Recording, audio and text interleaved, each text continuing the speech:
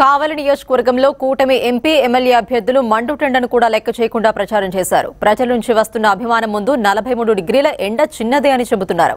పదేళ్ళ పాటు ఎమ్మెల్యేగా పనిచేసిన వ్యక్తి తమను మోసం చేశాడన్న కసితో ప్రజలున్నారని చెబుతున్న కావ్య కృష్ణారెడ్డి వేమిరెడ్డి ప్రభాకర్ రెడ్డితో మా Nellore correspondent Rajesh face to face. Kavali నియోజకవర్గంలో కూటమి అభ్యర్థిగా కావ్య కృష్ణారెడ్డి ప్రచారాన్ని ఉధృతం చేశారు. ఈరోజు మనతో పాటు కావ్య కృష్ణారెడ్డి.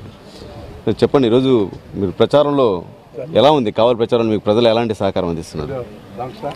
ప్రజల నుంచి మంచి స్పందన వస్తుంది.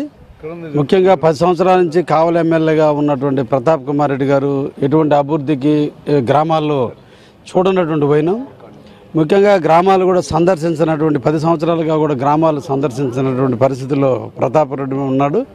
ఈ పది సంవత్సరాల మీద తెలుగుదేశం హయాంలో జరిగిన అభివృద్ధి తప్ప వైసీపీ ప్రభుత్వ హయాంలో ఎటువంటి అభివృద్ధి జరగలేదు కాబట్టి ప్రజల్లో ఒక నిరాశ నిస్పృహ ప్రజలు ఉంది. రెండోది రాష్ట్రంలో ఉండే చంద్రబాబు జగన్మోహన్ రెడ్డి ఏ అభివృద్ధి కార్యక్రమం చేయలేదు. తను దోచుకోవడం దాచుకోవడం తప్ప ఏ కార్యక్రమం చేయలేదు కాబట్టి ఇటువంటి వ్యక్తి ముఖ్యమంత్రిగా అనర్హుడు. కావలి ఎమ్మెల్యే ప్రతాప్ కుమార్ రెడ్డి కూడా దీనికి రాజకీయాలకు పనికిరాడనే భావన ప్రజల్లో వచ్చింది కాబట్టి ఈరోజు సైలెంట్ విప్లవం. ప్రజల్లో ముఖ్యంగా పేద బడుగు బలహీన వర్గాల్లో చాలా మార్పు వచ్చినటువంటి వైనం జరిగింది.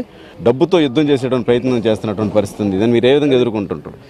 ప్రజాబలం ప్రజలలో మార్పు కోరినప్పుడు ఈ డబ్బు హంగు ఆర్భాటాలు ఏవి కూడా రాజకీయాల్లో పనిచేయవు.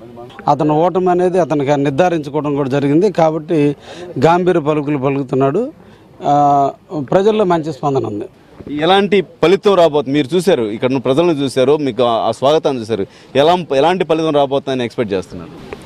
హండ్రెడ్ పర్సెంట్ ఈ పార్లమెంటు మొత్తం ఏడు సీట్లు గెలిచే పరిస్థితి వస్తుంది. ఎందుకంటే నిన్న చేజర్ల సైడ్ పోయిండు. అక్కడ అట్లే ఉండింది ఏ పల్లెకి పోయినా అక్కడ ఎక్కడ లేని స్పందన.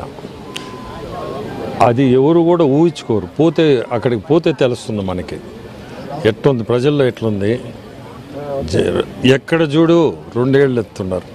అంటే తెలుగుదేశం.